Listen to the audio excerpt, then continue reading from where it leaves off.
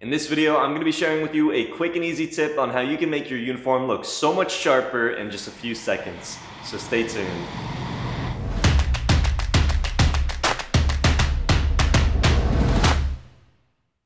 So someone gave me this tip when I was in boot camp and it has really helped me out throughout my Coast Guard career, looking real sharp, presentable, really makes you stand out amongst everybody else. So uh, let me just jump right into that and show you how to do this tip. So the first thing that you can do is that you get two of the, the bungees and then you just tie them together.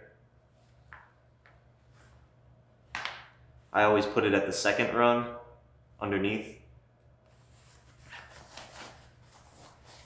So the issue when doing your pants is that a lot of people, they just stop at this. They say, okay, I'm just gonna put the bungees on, I'll do the little flip, the flip-de-doop, and they say that that's good. You're basically, you're just tucking the, the pant underneath itself.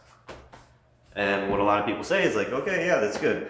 You know, my, my pants are blouse, but they become baggy. Even if you pull it up, it's still still kind of like loose, bunches bunches around. It, it just doesn't doesn't look good.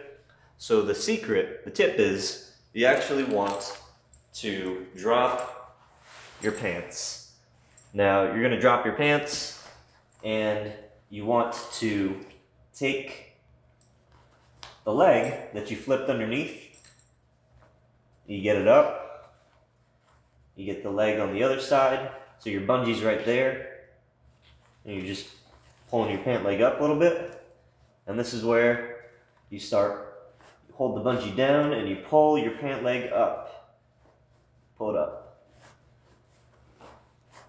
Pull it up. And then you pull your pants up. And just like that, in just a few seconds, you have a nice tight boot. You just tighten your, tighten your pants up, and you're good to go. See, you just get rid of the creases, and that looks fresh.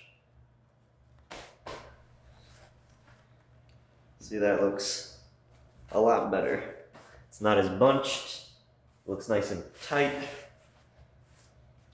And that's how you make your, your pants look a lot better and impress a whole lot of people.